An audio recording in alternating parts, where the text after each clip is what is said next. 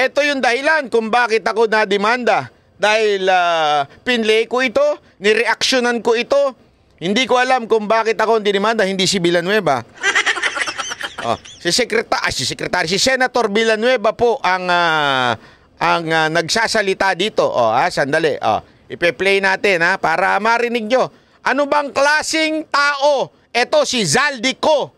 Hindi po galing sa akin. Galing kay Senator Villanueva ito. Pasok! pag-dismiss, Mr. President, ng reklamo. Ni hindi nga po nakarating sa korte, ginoong Pangulo, na-dismiss na po. Oh, yan yung ginagamit uh, pang ano sa kanya na ni Zaldico kaya nag-react siya. Nag-react si, si Villanueva kasi ito yung issue ng PI noon eh. Tapos nung binanggit niya, biglang may nag-react si Zaldico at yan yung isa sa binibintang kay Villanueva na sinasabi niya, eto, may ebidensya ako, dismiss. Dismiss. Yun ang sinasabi ni Villanueva. O, ituloy natin ngayon. Sa probable cause pa lamang. Mr. President, noong 2016, Oh, probable cause pa lamang, ibig sabihin fiscal uh, uh, level pa lang. Eh wala wala wala wala pa. ginamit po ito, ngunit hindi nagtagumpay. Nakakuha po tayo ng 18,459,222 votes.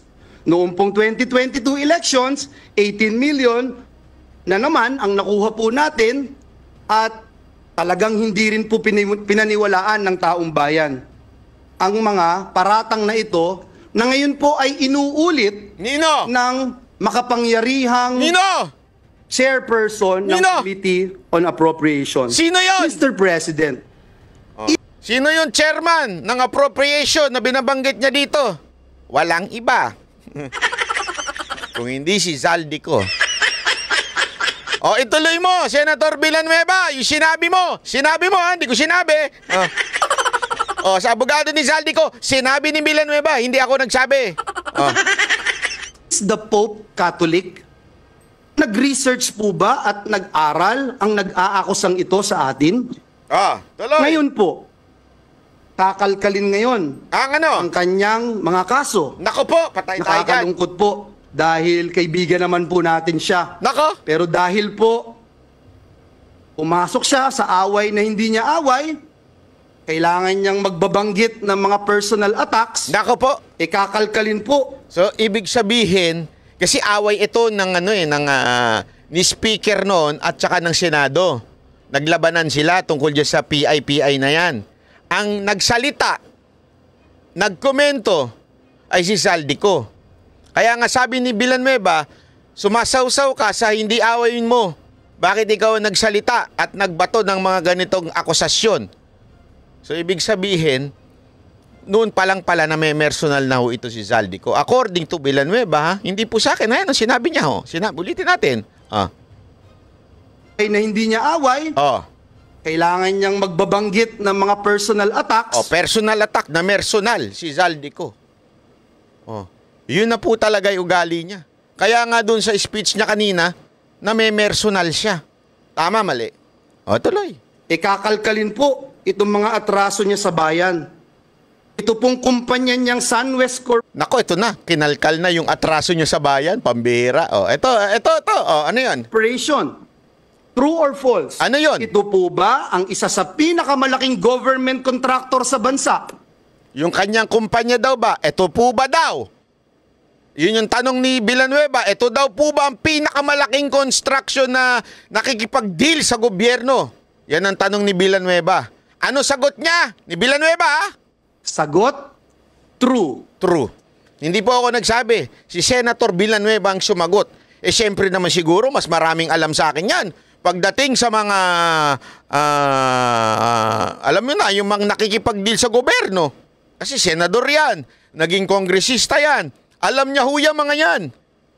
Oh, matagal nang nakikipag-deal yan sa mga mga taong ah, ah, mga may proye proyekto. Kaya nga ito daw kumpanya ni Zaldico.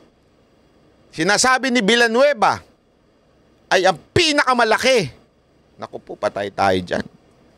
True or false? Ah, ano pa? True or false? Sige. Ang korporasyon po ba niyang SunWest Corporation Naku. Ano? ay kasama Sa? dito sa kontrobersyal na formally Oh. Kasama po ba sa Farmally yung issue, yung may problema, yung nahanapan ng ah, ng ah, hocus pocus, ng mga mekus-mekus diyan? Kasama po ba yung kumpanya ni Zaldico? Hindi po akong sasagot. Sino? Si Senator Villanueva ang sasagot.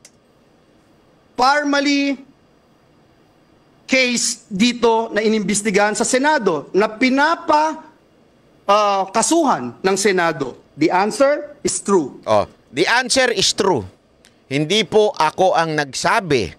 Si Villanueva po ang nagsabi niyan. Yung korupsyon na nangyari sa sa Parmali na pinapakasuhan ha. Pinapakasuhan ng buong Senado na pagdesisyonan ng Senado ng resolution nila dun sa hearing. Kasuhan yan kasi merong problema dyan. O kasuhan yung mga involved dyan. Ang tinanong ni Villanueva, kasama ba yung kumpanya na SunWest? Anong sagot ni Villanueva? Hindi po akong sumagot. Si Villanueva po ang sumagot. Ulitin natin yung sagot niya. Kasama ba? Kasuhan ng Senado. The answer is true. True daw. Kasama din po ba Ang ano? ang kumpanya niya Na? dito po Sa? sa, controversial Na? na, DepEd laptop, laptop scam? Oh, Ang sagot po, andali, bago ka sumagot. Oh, di ba nakita natin yung ah, grabing presyo ng laptop na yan. Oh, bakit laptop? Kasi nakakatawa yung presyo, mas mahal pa sa Mac pero luma ang laptop. Luma yung laptop. Hindi ko alam kung uh, Celeron ba yun o ano man pero ah, overprice yung mga laptop na yan. Ano mo, alam mo, alam mo, alam mo, anong dinahilan nila dyan? Ang dinahilan dyan kasi may after service daw. Kasama yung bayad do sa after service para pag nasira. Eh, yan yung bagay na hindi mo na makakwantify. Hindi mo na mabibilang. Hindi mo na makikita yon. Pero isinama yung service na yon kuno. Na pag may nasira dyan, ah, may, may- in other words, parang ka nagbayad ng, ah, ng after service or Apple Care. Kaya lang hindi Apple eh. so, hindi Apple Care. Yung ah, walang ganon. Walang ano, parang doon sa kontrata, nagbayad ng ah, ah, technical na pag natapos at nagkasira yan, libre na yung paggawa. Eh, hindi mo naman makakwantify yun. Hindi mo naman malalaman yun. Tama, mali. Oh. Kasama po daw ba ang kumpanya ni Zaldico? Ano sagot, Senator Villanueva? True. True. At, di ba? Again, it's not me who said that. It's Senator Villanueva. Pinakakasuhan din po ng Senado ang kumpanyang ito. Nako po. Napakadami pong BIR cases. Nako po. Madali po maghanap, Mr. President. Madali po kuhanin ang panig ng mga taga-BIR. Kung ilang kaso mayroon ang kanyang mga korporasyon. Bukod po dito, Grabe. yung reklamo po sa ombudsman ng anti-corruption group na ang pangalan Task Force Kasanag International, eh meron din pong 50 billion Nako. na kaso na kinakaharap ang taong ito. Hindi lang pala sa BIR, meron pang iba. Kaso, kinasuhan. Ay, nako. May butiki dito ah, may butiki. Mr. President, Yes! Ay, hindi pala ako presidente. Akala ko ako yun. Akala ko ako yun. Ikaw naman, oh. Maglalabas po kayo ng baho, Mr. President. Dapat naman siguro maligo ka muna. Naku po! Sakit nun, Brad. Ang masaklap po, Ginoong Pangulo, Oh, ano yon? sa kabila po ng track record na ito ni Mr. Zaldico, Ano? ang masaklap po, Ay? inappoint po siya Na? Kamara de Representantes Na ano? bilang tagapagbantay ng kaban ng bayan. Ay, grabe. Si Dracula, Sandali, sandali, sandali. Samantakin mo daw, ah. Ha? Sa daming, ito, ang sinasabi lang man naman ni, ano dito, sinasabi ni Senator Villanueva, wala naman siya sinasabing there is already a conviction. Wala, wala, wala. Wala siya sinasabi dito, convicted na ba yung kumpanya ni Zaldico? Wala po siya sinasabi dito. Ang sinasabi niya lang dito, the company na pagmamayari ni Zaldico were involved in so, so, so many cases of corruption or any eh, that uh, that has something to do with money. 'Di ba? Ibig sabihin talagang etong tao na ito ay may kaso na yung kanyang kumpanya.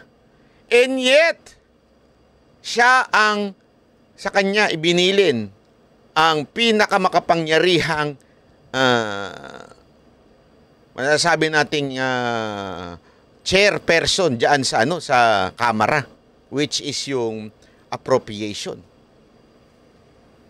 Si Dracula, Oo. in-appoint mo Bilang? bilang, tagapagbantay ng blood bank ng bayan. Ay, grabe. si Dracula talaga.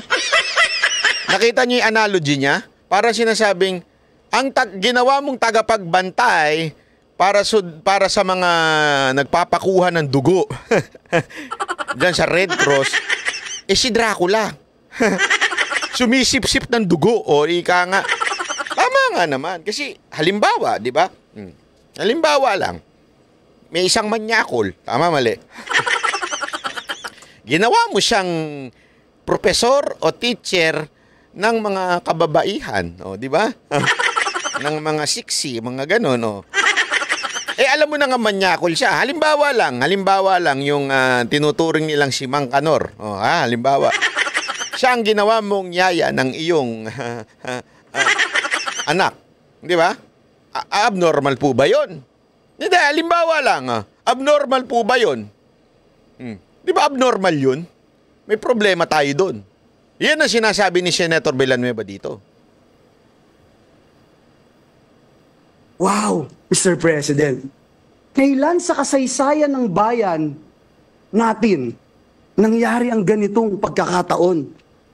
Na isang big-time contractor ang hahawak sa kaban ng bayan. Naku po, patay ta. Only in the...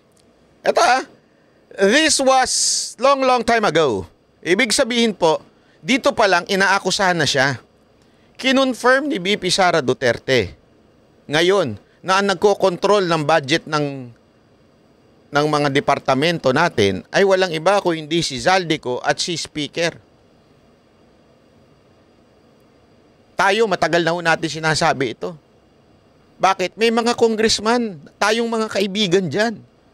At sina, 'di ba no una pa lang ng ah, panunungkulan ni Marcos pag tungtong-tungtong pa lang niya, sinasabi ko na sa inyo to, there is something happening in the the House of Representatives. Nagkakaroon ng barkadahan system diyan.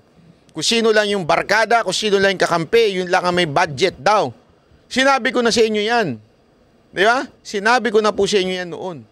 Ito kinukonfirm ni Villanueva, kinonfirm ni BP Sara Duterte. In line with that, ilang beses ko po sa inyo yung sinasabi na huwag tayong malilihis sa ating pinaglalaban. Kasi marami sa atin ang inaatake si Marcos at yung asawa niya. I don't have problem with that if they they did something wrong. If they did comment something wrong, atakihin natin. That's correct. That's constructive criticism. Pag may mali, pag may pagsisinungaling, atakihin natin. Pero, yung ibang issue na wala namang kinalaman, si Marcos, at ang may kinalaman ay ang kamera, pero ang inaatake pa rin natin ay si Lisa Marcos. Bakit? May problema tayo. Kaya nga di ba paulit-ulit ko sa inyo sinasabi, nahaluan tayo ng Trojan horse. Nahaluan tayo na ang pilit na pinasasama lamang ay yung mag-asawa. Umiiwas dito kay Romualdez. Pero kitang-kita na natin ngayon nang galing na sa bibig ni VP Sara Duterte. Sa bibig niya na nanggaling si Romualdez ang talagang tunay na may problema sa bayan nato. Sinabi ko na sa inyo yan. Ano sabi niyo sa akin? Ha? Sinabi niyo sa akin, ah, bayaran ka siguro ni Lisa Marcos o kaya ni Marcos kaya hindi mo binabanatan. Which is katangahan. Dahil ilang beses natin binandatan yon pag meron silang maling ginagawa. Pero yung idadamay mo sila sa walang maling ginagawa, para iiwas mo lamang si speaker, eh nahalata ko na yun. Kasi remember this, don't ever forget this. Marcos is done. Ano ibig sabihin nun? After 2028, tapos na yan. Hindi nakakandidato yan, hindi na makakaulit yan. Ibig sabihin, hindi siya ang real enemy sa politika. Hindi siya. At remember, ang personality ni Marcos at nung kanyang asawa, kung hindi magparty. Yun lang ang personality nila. Magsaya. 'Di ba? Wala nga siyang kaalam-alam sa mga nangyayari. Alam nyo, kahit si Pangulong Duterte, yan din ang sinabi sa akin nung huling nag-usap kami. Alam niya, 'di ba? Sabi niya nga sa akin, "O, 'di ba sinabi ko naman na weak talaga 'yan. Mahina 'yan. Walang ano 'yan. Si ano talaga ang ano niyan? Ang may pasimuno niyan." Alam niya. Tama naman talaga eh. Weak talaga. May kasalanan ba? Oo, may kasalanan. Being weak is a uh, is a mistake. Being weak is uh, yan ang talagang uh, pangit sa isang personalidad ng isang presidente. Weak. Bakit? Kaya siyang palusutan ng mga taong nasa paligid niya. But the problem is, mga kababayan, nagpo-focus tayo sa presidente at dun sa asawa niya kasi yun ang dinidikta sa inyo ng iba. Pero ang real culprit sa mga nangyayari sa bayan natin, nandi dito sa kamera. Bakit? Siya ang nangangailangan sa 2028. Siya ang may ambisyon na maging Pangulo ng, ng Pilipinas. Siya ang may ambisyon na maging Prime Minister.